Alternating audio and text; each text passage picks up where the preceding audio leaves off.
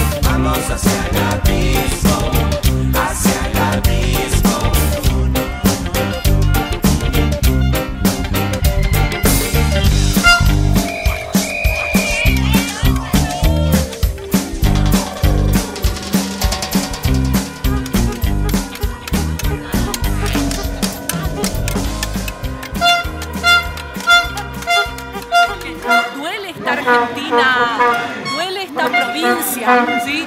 duele ver al trabajador en la calle eh, reclamando cuando debería estar en sus puestos de trabajo. ¿sí? Entonces duele esta Argentina que nos queda, decimos el día de mañana, ¿qué queda para nuestros hijos? ¿sí? El día de mañana, ¿qué futuro les espera a ellos? Eh, por eso pienso que la lucha no tiene que decaer, que tenemos que sumar gente,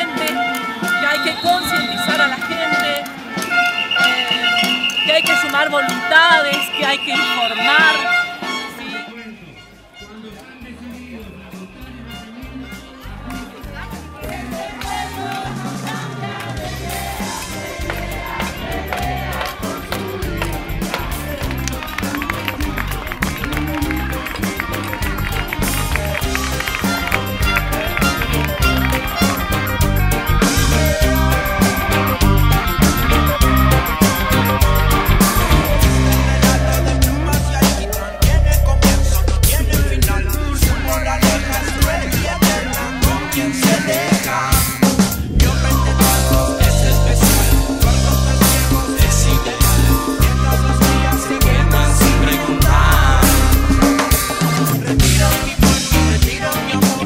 Retiro y convido mi suerte al sol.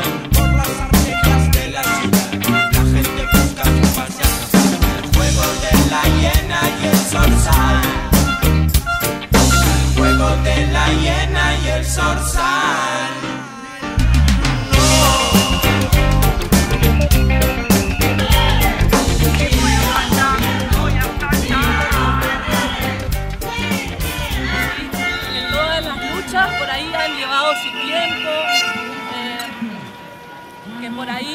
Han costado sacrificios, así como por ejemplo el de la carpa docente que está en este momento, eh, todas las carpas que hay también a lo largo de la provincia, en la ruta 12, en la ruta 14, todos los docentes autoconvocados que se levantan en los pueblos en una digamos, circunstancia que antes no ocurrió así, que en otro momento no se dio así.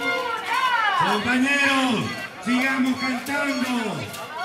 Como si fuera que recién...